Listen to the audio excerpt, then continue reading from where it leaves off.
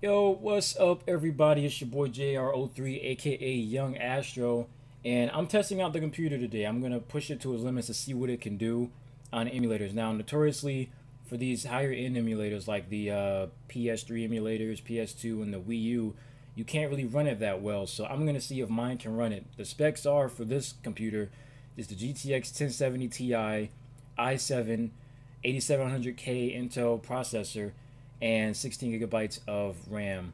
Um, that's pretty much you know the main specs. So I never played Smash the whole way through on it. I just got this up here, so I'm gonna see if it works. Maybe it'll help you make the choice on how fast the computer goes. Uh, it handles all the computer games well, but we'll see how it does with this emulator. Let me know if you guys want to see any more videos like this, testing the computer, see if I can push its limits. Also, subscribe if you want some more. Comment, let me know some uh, some ideas, and I'll see you guys when I see you guys. Have a good one.